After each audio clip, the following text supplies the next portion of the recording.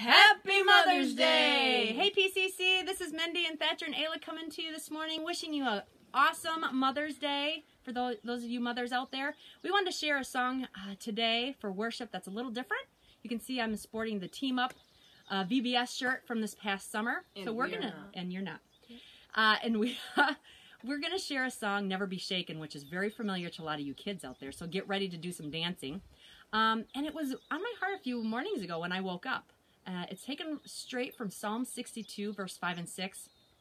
And it's about never being shaken. We are on the rock of God, and that has not changed in any of this. And no time do we need it more to remember than right now in this season uh, where He has not changed. He is the same today, tomorrow, and yesterday. Um, and so we're going to share the song with you. I want to share the scripture where it came from first, and then we're going to get ready to do a little dance. And moms, get ready. Those of you who uh, have never heard this before, uh, just enjoy. It's, hum, it's from Psalm 62, 5 and 6. Find rest, O my soul, in God alone. My hope comes from him. He alone is my rock and my salvation. He is my fortress.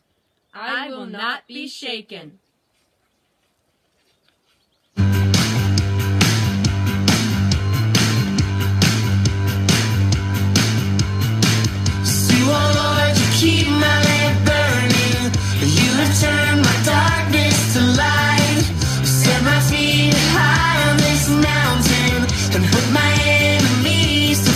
So